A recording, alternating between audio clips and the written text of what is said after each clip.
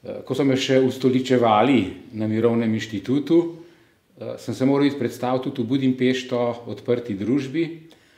Šel sem z avtom po stari poti, še ni bilo cele avtoceste, tako da treba iti čez Hrvaško nad Čakovcem in gor.